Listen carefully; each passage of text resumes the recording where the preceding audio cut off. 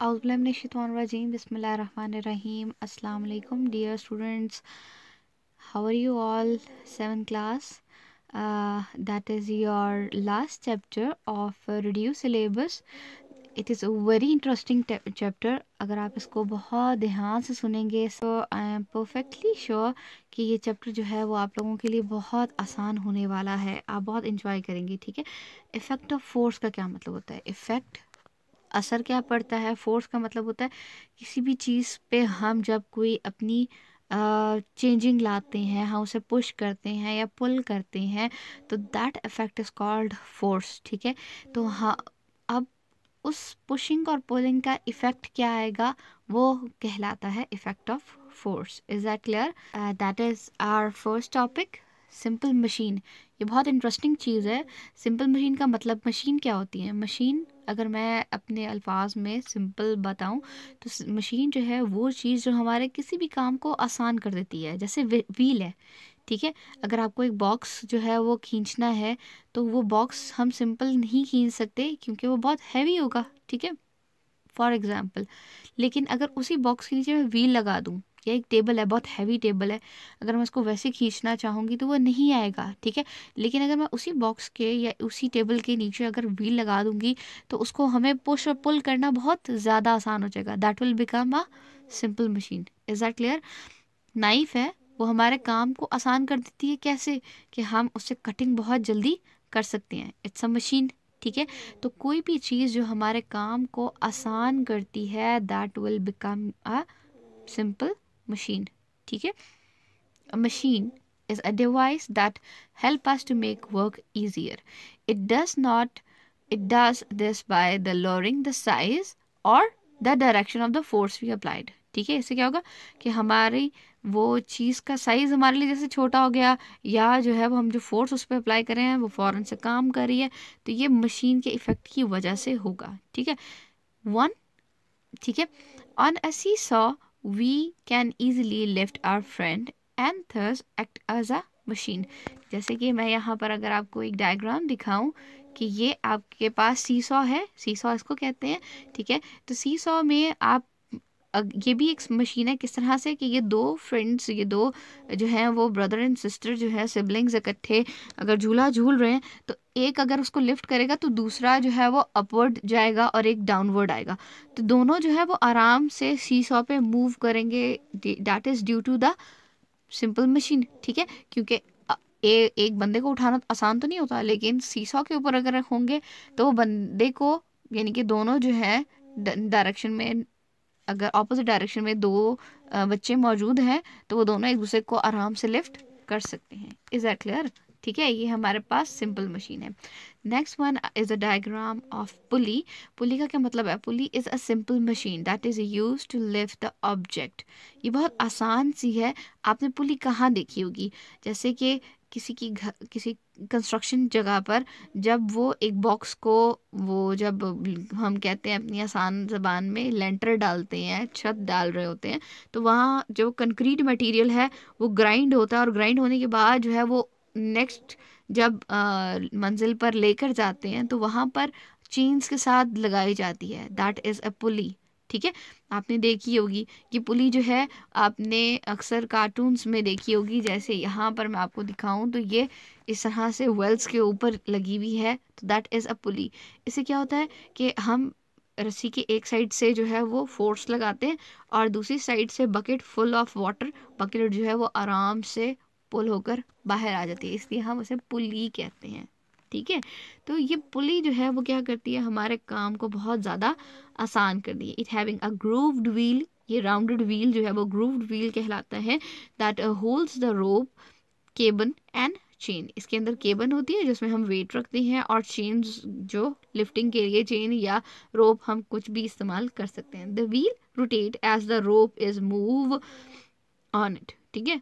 ये wheel rotate करता है, जैसे कि अगर हम इसको, अगर मैं दोबारा आपको डायग्राम दिखाऊँ तो ये अगर बच्चा देख रहे हैं, वो उसको पुल कर रहा है तो क्या होगा कि ये पुल करेगा तो ऊपर से वो ये व्हील रोटेट होगा और दूसरी तरफ़ से जो है, वो ऊपर चीज़ या जिस तरह फुल ऑफ़ वाटर बकेट जो है, वो ऊपर आ जाएगी। The wheel rotate at the rope move input force is effort जो बंदा आ, उसको खींच रहा है जैसे यहाँ पर बच्चा खींच रहा था तो वो इनपुट फोर्स लगा रहा है जिसको हम एफर्ट कहते हैं। तो ज़ोर लगाना होता है ना ठीक है? Applied on the end of the cable in the case the pulley the object lifted जो चीज़ mini bucket that is full of water जो ऊपर आ रही है दैट इज़ लोड क्योंकि वो हैवी है लोड कहते हैं वज़न को ना ठीक है?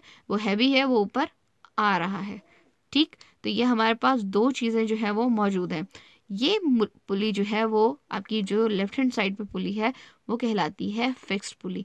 और जो दूसरी पुली है, वो आपकी मूवेबल पुली कहलाती है। इसकी सबसे मज़ेदार एग्जांपल अगर मैं आपको बताऊँ interesting example that is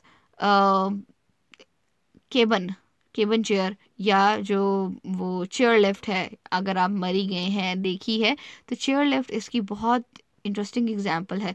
वहाँ पर अगर आप देखें रोप के ऊपर चेयर्स जो हैं, वो मूव कर रही होती हैं. That is because of fixed pulley क्योंकि एक एंड पे वो फिक्स होती है, वो वहाँ से जो है वो पुल कर रही होती है और दूसरी साइड से जो है वो एक केबन मीन्स एक राइट डायरेक्शन में जा रही होती है तो दूसरी लेफ़्ट डायरेक्शन में जा रही होती है. ऐसे ही होता है ना कि एक जो है वो जाने वाली होती रो होती है और एक जो है वो आने वाली रो होती है. वो इस वजह से होती है क्योंकि रोप्स जो हैं, वो मूव हो रही होती हैं with the help of movable pulleys is that clear ठीक है? Okay our next point is in the movable pulley in which the one end of the rope is a fasten fasten का मतलब उसको हमने टाइट किया होता है या बांधा होता है, ठीक है? To the other end and the load is attach the block of the pulley और उसको हमने, अगर आप दोबारा केवन चेयर को या चेयर लिफ्ट को याद करें तो आपके साथ इसी तरह से वो पुली जो है वो रोप्स के थ्रू उसको रोटेट कर रही होती है, ठीक है? The load is attach to the block of the pulley as the pulley is fixed the load also lifted इस तरह से लोड को वो लिफ्ट करके एक जगह से दूसरी जगह लेके जाती है। यहाँ पर जो है, हमारे पास एग्ज़ाम्पल जो है, वो फिक्स पुली की अब बताई है।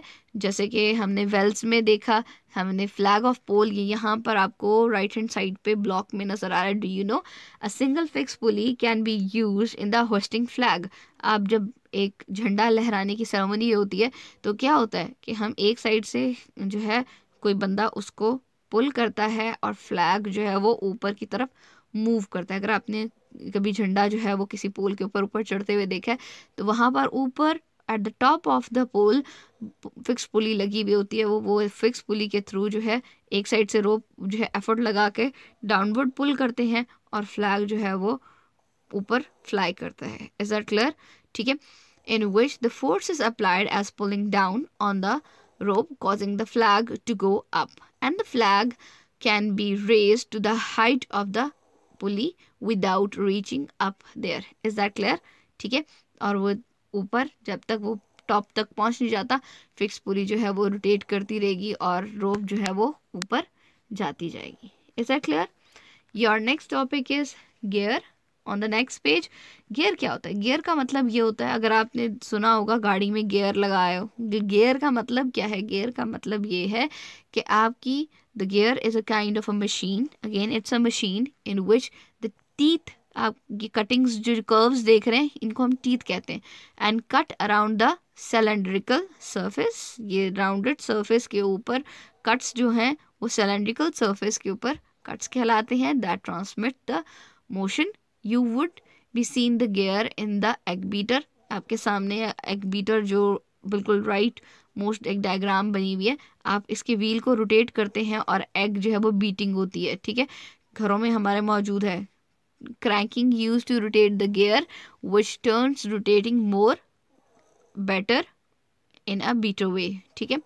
बीटर को बहुत अच्छे तरीके से ये मूव करने के लिए कि हम एक साइड से इस व्हील को रोटेट करते हैं और बीटर जो है वो बहुत आसानी से मूव कर सकता है। गियर मैश टुगेदर ये दोनों गियर्स ये एक बड़ा गियर है और एक छोटा गियर है। वो मैं भी आपको बताती हूँ कि बड़ा और छोटा ये दोनों गियर्स जो हैं वो क्यों हैं, ठीक है? The gear meshed together and make the things turn ये चीज़ों को टर्न करने के लिए या चीज़ों को एक फ्लो में लाने के लिए गियर इस्तेमाल होता है। Gear are used to transfer motion और the power from one moving part to the other ठीक है? गियर चेंज करने से इसका मतलब होता है कि एक पार्ट में फ़र्स्ट गियर में गाड़ी चल रही है और उसको हमने सेकंड गियर में किया तो इसका मतलब है कि पावर को, गाड़ी की स्पीड को एक गियर से एक मोशन साइड से जो है उसको दूसरे में ट्रांसफ़र किया गया थ्री से फोर में करना है, या फोर से थ्री में करना। तो ये टर्निंग हो रही है ना, कि कभी हम तेज़ कर स्पीड को और कभी हम स्लो करें is that clear gear generally used to reverse the direction of rotation gear की वजह से रोटेशन जो है वो भी मैटर करती है to increase and decrease the speed that is very much important gear change की वजह से स्पीड जो है वो इंक्रीज और डिक्रीज होती है। Gear are used in the mechanisms of car truck, bikes, pump, हर एक चीज़ में गियर्स जो है वो इस्तेमाल होते हैं। एनालॉग वॉच विंटर बाइंस ठीक है? Bulldozers and most engineering machines. Is that clear? ठीक है, ये हम गियर्स को इस्तेमाल करते हैं। मोस्टली क्लॉक में भी अक्सर हमें नज़र आती हैं। ठीक है? ये कार में जो बाईसाइकिल है कार्स में तो हम, मैंने भी आपको बता दिया है। बाईसाइकिल में भी हमारे पास ये गियर्स जो है वो मौजूद हैं। एक जो है वो फ्रंट गियर होता है, जहाँ पर हम उसको पुल कर रहे होते हैं। ये छोटा, जहाँ पे पैडल के साथ छोटा सा व्हील लगा हुआ होता है। अगर मैं आपको एक डायग्राम दिखाऊँ दैट वन ठीक है? जो बिल्कुल पैडल के साथ होता है, वो छोटा सा व्हील होता है। यहाँ पर आप साइकिल देख रहे हैं? ठीक है? तो वो व्हील जो है, वो कहलाता है ड्राइवर व्हील और जो बैक एंड पे मेन व्हील होता है बैक वाला व्हील जो रोटेट कर होता है और ये बहुत स्लाइटली मूव करता है, इसको हम कहते हैं फॉलोअर व्हील ये सिर्फ़ फॉलो करने के लिए होता है ड्राइव व्हील को, ठीक है? और इसकी वजह से साइकिल जो है, वो रोटेट करती है. You would have seen the gear in the bicycle bicycle have multiple gears that is easier to go up the hills अब साइकिल्स जो हैं वो भी एडवांस होती जा रही हैं।